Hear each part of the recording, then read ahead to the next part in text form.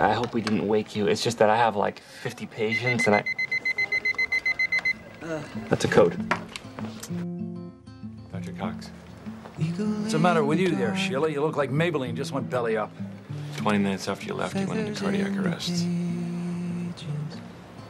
We tried to resuscitate him, but there was nothing we could do. I'm sorry. Dr. Cox, can I talk to you for a second? Hey, Val.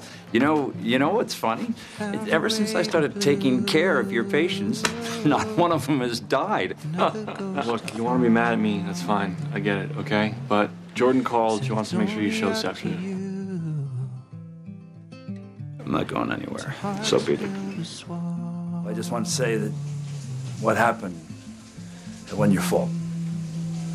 And I'm sorry. Thanks. I really needed to hear that. You see any holes in these pants? No. I'm glad you made it.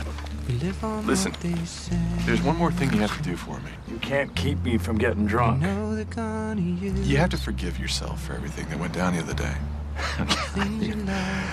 You're so annoying. Good.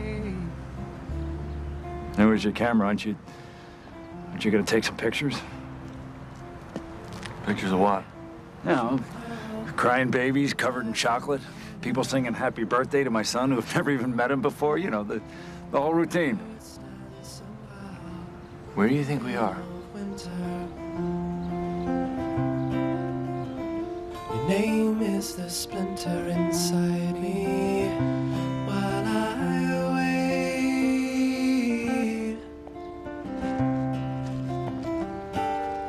I remember the sound of your November downtown